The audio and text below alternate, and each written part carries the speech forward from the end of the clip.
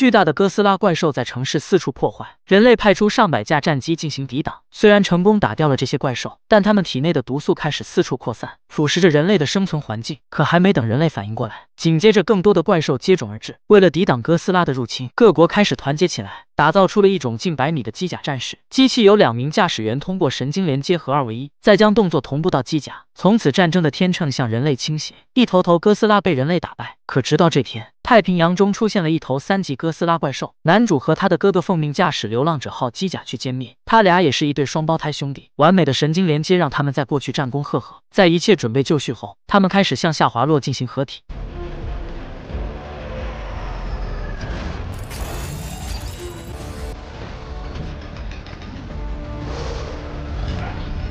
但操作这种机甲需要两位驾驶员进行神经的链接，才能发挥最大的战斗力，而两人的记忆与情感也会得到共享。完成这一切后，他们操控着流浪者号一步一步地向海面走去。而此时，哥斯拉正将一艘渔船给团团围住，嘴里散发着巨大的能量蓝光。危急时刻，流浪者号也终于赶了过来。为了保护渔民的安全，他们一手下去，先将渔船挪到一边，接着两人一拳下去，直接命中哥斯拉大脑。随后又发射出等离子炮，将哥斯拉击到海底。就在两人以为又一次轻松取得了战斗胜利时，哥斯拉又从海底冒了出来，从背后一巴掌偷袭了流浪者号。眼看情况不妙，两人还想再次发射等离子炮，结果不料被哥斯拉一巴掌拦住，并击穿了流浪者号的左臂。机甲内的两人也同步感到疼痛，还没等两人反应过来，哥斯拉直接刺穿了驾驶舱，将男主老哥抓了出去。还没来得及难过，哥斯拉又再次袭击了流浪者的心脏。最后，男主忍受着疼痛，启动了最后一枚等离子炮。一声爆炸过后，哥斯拉终于饮恨西北。而这次战斗过后，人类也见识到了怪兽的战斗力变得更加难以对付，机甲的生产速度已经赶不上失去的速度。于是高层决定放弃这项猎人计谋。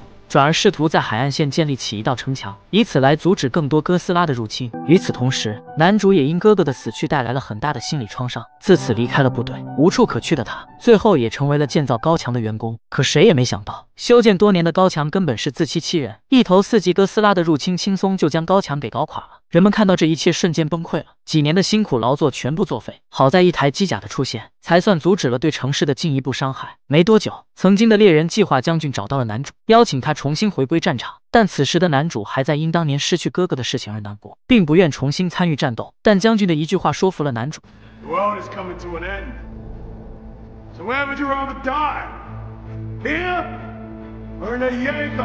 什么更重要？男主还是能够想明白的。于是跟着将军来到了位于中国香港的机甲基地。将军告诉他，由于多年的战斗，现在全世界仅剩余这里的四架机甲，分别是来自中国的暴风赤红号、俄罗斯的阿尔法、澳大利亚的尤里卡突袭者，最后一架便是男主当年驾驶的流浪者号。而如今的流浪者号也已经得到了升级，战斗力更强。但男主要想重新驾驶它，还需要挑选一名战友。于是男主看上了一名来自日本的贞子，但是两人在进行精神链接默契度测试时，贞子的神经却陷入了儿时的痛苦记忆中，紧张的神经致使他无意中启动了等离子炮，这可把基地的人都吓坏了。好在工作人员及时拔掉了主电源。才算避免了一次灾难，但这次的测试失败也导致了他们暂时只能待命。而就在这时，基地传来紧急情况，再次从虫洞那边传送来了两头四级哥斯拉，正朝着香港方向奔袭而来。将军随即派出三架机甲迎战，而男主的流浪者号则留守待命。首先出战的是来自中国的暴风赤红号，哥斯拉一上来就将他那利刃般的尾巴甩在赤红号腰间。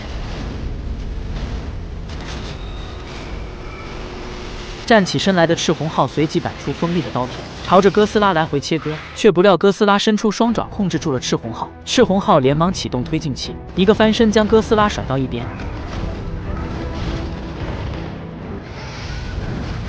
旁边的阿尔法连忙过来，朝着对方就是一顿暴揍。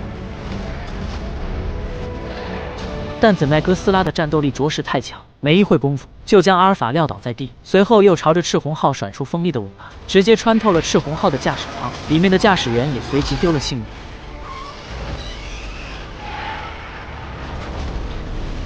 阿尔法见状，试图上前为赤红号报仇，不料哥斯拉不讲武德，喷射出强烈的腐蚀性液体，阿尔法的头部被严重腐蚀，坚守在后方的突袭者也随即赶来，结果还没走几步。半路竟然冒出来了第二头四级哥斯拉，还没反击阿尔法就被对方打得措手不及。突袭者本想发射导弹进行反击，却不料这头哥斯拉竟然释放出了一道强烈的电磁脉冲，所到之处瞬间失去了电能，机甲也失去了动能。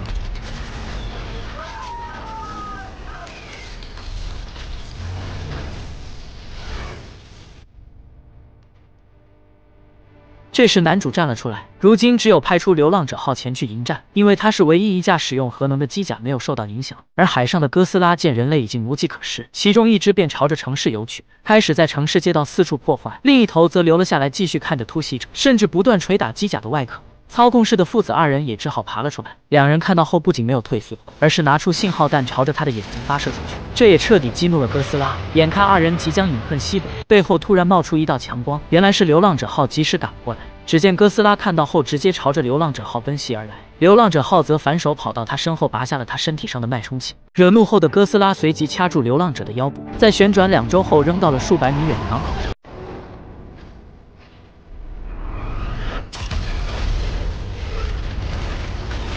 但哥斯拉仍不肯放手，爆发着怒吼就朝着流浪者奔袭而来。流浪者也不甘示弱，一个跳跃冲刺，狠狠地砸向哥斯拉，接着再抓住他的脑瓜子来回捶打。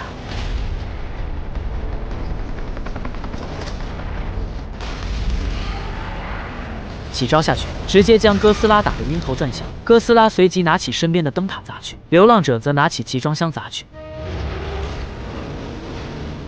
一个双手夹击，再一拳下去，直接将哥斯拉打懵了。随即再连续向其发射出等离子炮，可谓战斗极为激烈，直至将炮弹全部打空，才算将哥斯拉打趴下。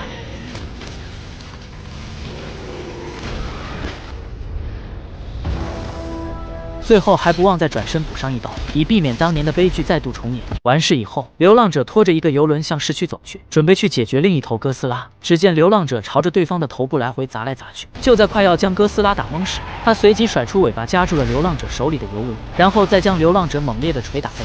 等流浪者站起来以后，已经不见了哥斯拉的踪影。流浪者在城市里四处寻找，可就在这时，哥斯拉突然从一旁的高楼中扑了过来，将流浪者险些扑倒。流浪者随即快速反击，几个组合拳下去，打得对方晕头转向。哥斯拉随即再次喷射出强酸，好在流浪者躲避及时。就在对方再次准备喷射时，流浪者一记重拳打入对方嘴里，不料他又甩出尾巴将流浪者给缠绕住。流浪者连忙喷射出冷却剂。挣脱束缚后，流浪者抓住时机将哥斯拉的舌头给扯了下来。恼羞成怒的哥斯拉用两只后腿死死抱住流浪者的背部。然后展开双翼，带着流浪者朝着空中飞去。没一会功夫，就来到了万米高空。机甲内的氧气也逐渐耗尽，等离子炮刚才也已经耗尽。危急时刻，贞子想起了他们还有一个秘密武器——锁链剑。只见机甲左臂甩出长长的利剑，狠狠地朝着哥斯拉劈去。一剑下去，被分成了两半。但流浪者也从高空急速下坠，照此下去，就算有坚硬的机甲护身，也会被摔得粉身碎骨。所幸在最后一刻。他们将剩余燃料集中发射，为降落争取了最后的缓冲，成功安全的降落在地面。经此一战，他们也成为了基地里的英雄。但来不及庆祝，又有两头哥斯拉正从穿越口而来。为了彻底摧毁哥斯拉，他们决定前往太平洋深处，炸毁那个将哥斯拉传送过来的虫洞。但如今也只剩下流浪者号和突击者。而突击者的主驾由于已经在刚才战斗中身负重伤，将军决定亲自上阵。经过简单休整后，最后两架机甲再次投入了太平洋中。与此同时，为了研究哥斯拉身上到底隐藏着什么秘密，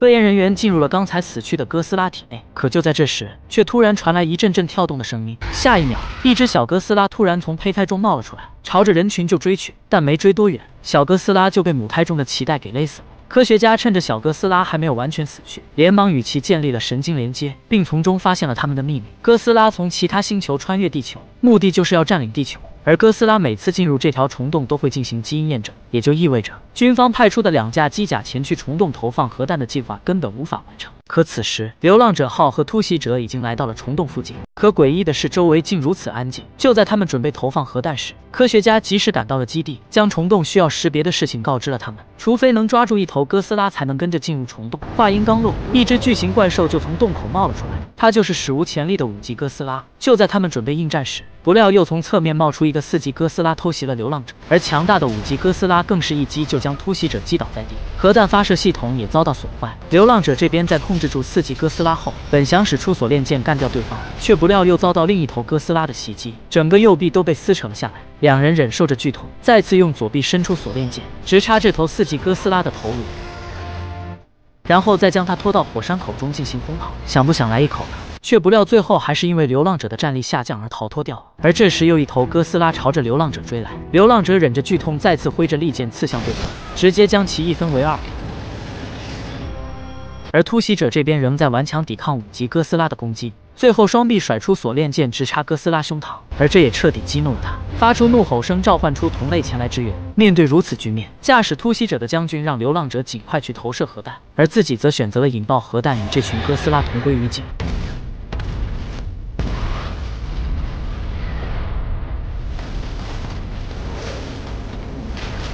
一声爆炸过后，流浪者也损失严重，单手拖着哥斯拉的尸体，一瘸一拐地朝着虫洞洞口爬去，却不料那头五级哥斯拉居然还活着，再次拦住了流浪者的去路。流浪者随即开足全部火力，试图将对方撞进洞口，同时又用锁链剑刺向对方心脏，但顽强的哥斯拉仍拼命抵抗，结果在洞口掉落的过程中，将贞子的氧气舱给打烂了。男主随即发射出巨大火焰燃烧哥斯拉，这才算将其干掉。流浪者也通过哥斯拉的基因顺利穿过了时空裂缝，但此时贞子的氧气已经严重不足。男主将贞子放入逃生舱弹射了出去，随后独自驾驶流浪者继续下路，来到了哥斯拉的世界，然后手动引爆了核反应堆，并在爆炸前乘坐逃生舱逃离了这里。而连接两个世界的虫洞也彻底被摧毁，再一次拯救了全人类。两人的逃生舱也先后顺利浮上水面，但哥斯拉真的彻底被消灭了吗？你们觉着这个怪兽和《金刚大战哥斯拉》里的哥斯拉哪个更厉害？关注时说影漫，更多精彩持续更新。